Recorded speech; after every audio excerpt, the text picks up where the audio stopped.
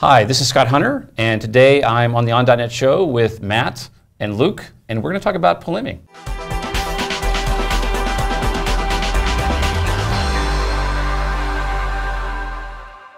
Hey, we're back with Matt and Luke, uh, and to talk more about Pulumi. Um, one of the things, Matt, that I run into is, you know, a couple years ago we started thinking of building these guides for building more complicated .NET applications, especially cloud-based applications. Uh, so there's an architecture guide called Microservices. If you go to dot.net, our website, uh, you can find the guide up there. And we have an app we built called eShop Container, which has some front-end websites, it's got some back-end websites, it's got some microservices, it has a little bit of everything. Um, and it's not too hard to pull the Git repo down uh, and run it locally.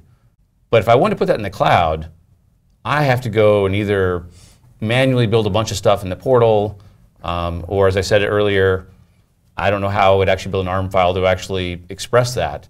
But you were telling me off offline that I could build like an eShop container object.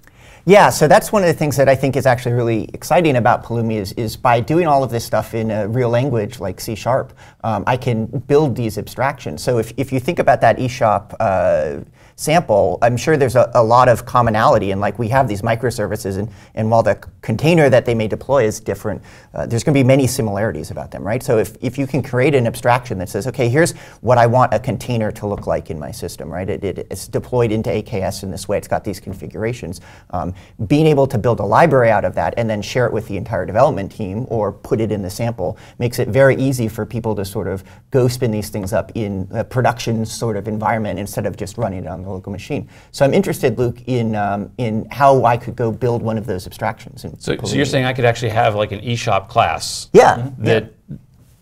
explains my entire infrastructure, right. put that up into a NuGet package, yep. and I would just tell customers in my eShop architecture guide, right. just pull this NuGet package down and run the tech right. to do an up on that. Yeah, exactly. Yep. Yep. No, I think that's, that's, exactly right, and it's one of those core benefits you get from kind of using a programming language, using the .NET ecosystem. All of these tools, from C Sharp to, to the .NET Runtime to the, NuGet package manager, you get to bring all these into your infrastructure as well. And I'll show a quick example of some of that. So, you know, um, one example that we have here uh, in the Pulumi examples on GitHub, for example, is um, is this Cosmos DB uh, distributed application. And one of the interesting things about this application is, uh, and I'll just uncomment these lines. Um, uh, is this application, you know, if you look at this, what it's doing in the deployment here, uh, it, it, looks actually very simple, right? It's just creating uh, these functions and creating these VM scale sets and then exporting some values out of those things. But internally, what these are actually doing, uh, these functions and VM scale sets, they're doing a ton of work, right, to sort of create a whole bunch of things to deploy a function. And so in this case, I'm, I'm uh, deploying an Azure function, so I'm deploying some code into uh, an Azure function here. And in fact, I'm deploying the code that's just another .NET project right here, right? This is the app I'm going to deploy. Um, but I'm going to deploy that using you know, uh, all these different uh, capabilities.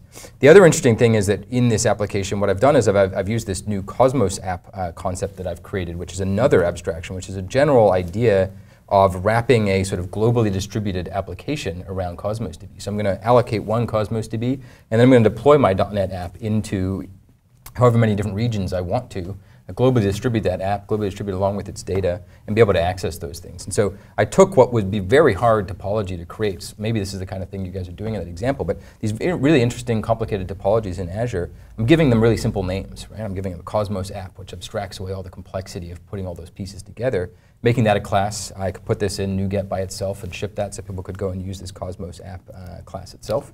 Uh, and now all the resources to create that. I mean, you look at all these things. There's a Cosmos account, there's a SQL database, there's a container, traffic manager. There's a whole bunch of these Azure resources that I need to stick together um, to ultimately deploy my app in this globally distributed way. So exactly the kind of thing. Yeah, we would just build an eShop right. app.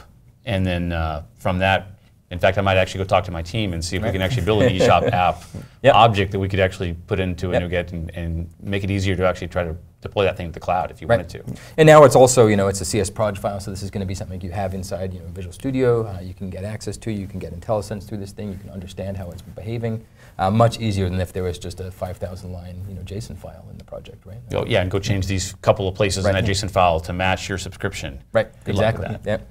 yeah, just being able to use like normal code navigation tools to jump between, this is actually a, a rather large, I think, application if you think about the infrastructure, right? It probably creates on the order of 30-ish resources, right? And so just being able to jump between oh, I saw that Cosmos app. Let me see what what does that go into it. Is uh, is really cool to see sort of some of the power that you get when you when you leverage a, a real language. Yeah, it's exactly right. And you know, and you get the type checking and IntelliSense and all these other things to sort of make it just more productive to work with this thing. You have more confidence as well.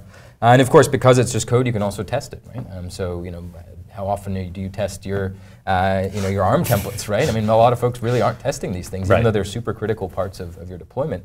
Um, but when it's code, it just feels so much more natural. I can use my existing sort of .NET testing tools, and I can just test that these components are building the stuff I expect them to build. So um, we can bring a lot more of these software engineering capabilities in, not just the ability to create abstractions like the you know this class here, but a lot of other tools we can bring into this environment.